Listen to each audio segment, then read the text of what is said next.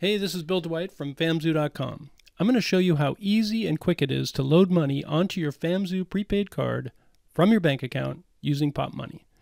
Just visit popmoney.com, enter your email address, and click Get Started. Then you want to let Popmoney know your bank or credit union where you have your bank account. In my case, I just pick Wells Fargo. You'll be asked to fill in a Popmoney profile starting with your legal name, first and last, your email address is there. You are not a robot, and click Next. Now we'll continue with a little more profile information. Your mobile phone, they'll use that sometimes for verification. Then you'll enter a password, good strong one, and you'll want to confirm that. And next up, we'll have the address. So enter your street address, identify your city,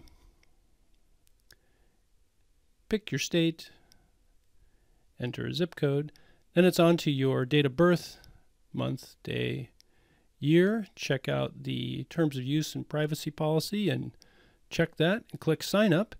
And assuming all your identity information checks out, you'll land on this nice simple Popmoney dashboard.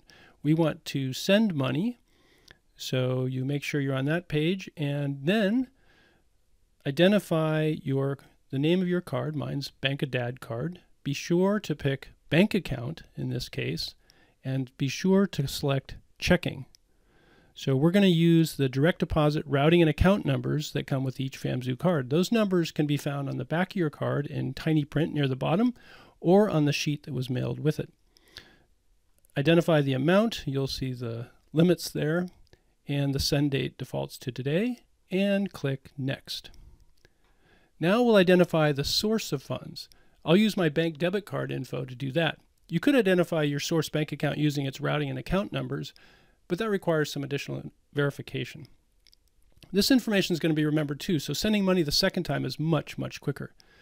So I've entered my bank debit card and my expiration date, go with my security code, Next, my billing address is already filled in from earlier.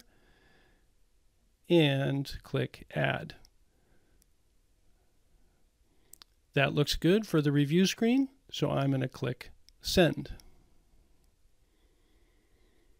And that's that.